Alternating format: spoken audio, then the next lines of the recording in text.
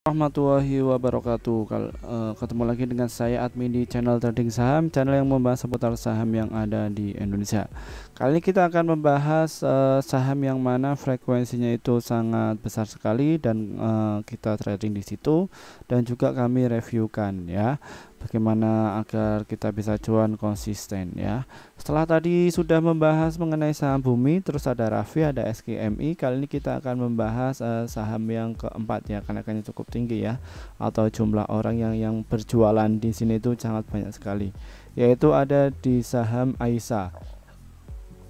Saham Aisyah ini tadi itu dibuka di harga 180 dan dia hacknya itu ada di 198 adapun low-nya ada di 175 adapun harga terakhir di sesi siang ini ada di 190 untuk persentase pada hari ini dia itu naik 7,95% dan frekuensinya mencapai 14.922 namun volumenya mencapai 2.531.000 ya dan volume transaksinya mencapai 48 juta volume transaksi. Kita akan melihat secara stok price-nya bagaimana uh, saham apa tadi?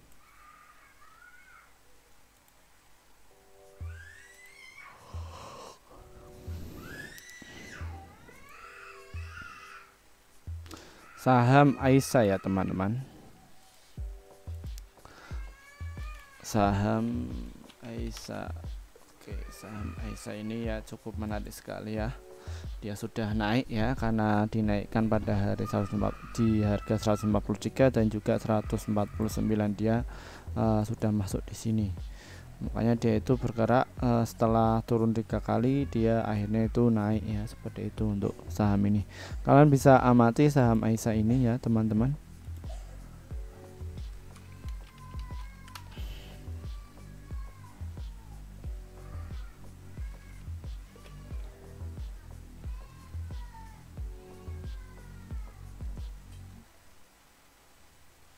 Kalau kalian lihat uh, untuk saham Aisyah ini bit overnya cukup besar sekali ya. Bitnya itu ada 247 dan overnya itu ada di 155 dan ini itu saham ini masih dijaga ya seperti itu ya teman-teman.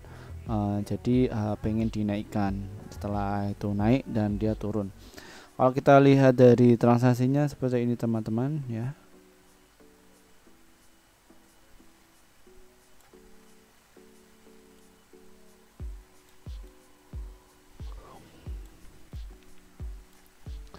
dan adapun dailynya itu dia itu kemarin itu sempat turun ya 0,56 dan naik juga 0,56 dan dia itu uh, sudah turun ya teman-teman. Turun juga. Jadi uh, dia itu mulai dinaikkan kembali. Kalau kita lihat dari sentimen saham ini saham Aisyah ini bahwa PT FKS Food sejak Sejahtera TBK atau AISA menerapkan varian baru Bihunku Korea Series untuk segmen milenial.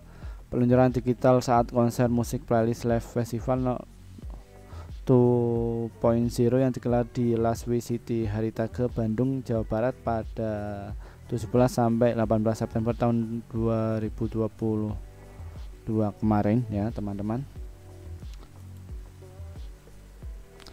bahwa kami melihat anime terhadap Binku ini sangat cocok dengan kebutuhan kaum muda yang ingin makanan yang enak, praktis dan dapat menjaga hidup sehat dan dengan kuliner Korea yang semakin digemari pasar Indonesia. Dia ada sedimen dari K-pop ini. Kami berharap masyarakat Indonesia dapat mencicipi makanan Korea tanpa pergi Korea melalui Binku Korean Series ini, ujar Vino Monica Chef Marketing Officer FKS Food Sejahtera dalam siaran pers pada hari Sabtu tanggal 17 September tahun 2022 kemarin ya teman-teman. Uh, kita akan melihat dan dia itu secara fundamentalnya dia cukup baik ya. Nah dia itu back value nya dua kali lipat sudah naik dua kali lipat.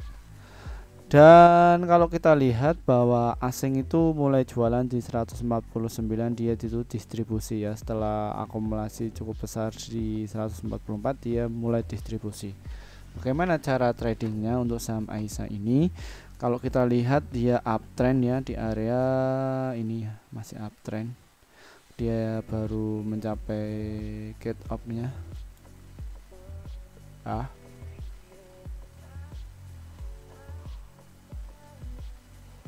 Kemungkinan apabila saham Aisyah ini ditutup di 183 maka dia itu akan uh, melakukan kelanjutan sampai di area 220 untuk saham Aisyah ini. Dan kita bisa mengecek saham Aisyah ini lagi turun kalian bisa tunggu dulu di 187 namun sebaliknya apabila dia itu enggak kuat di 188 kalian bisa stop loss dulu di 189 makanya ini akan bergerak menuju di resi 198 dan juga 197 ya untuk saham Aisyah ini.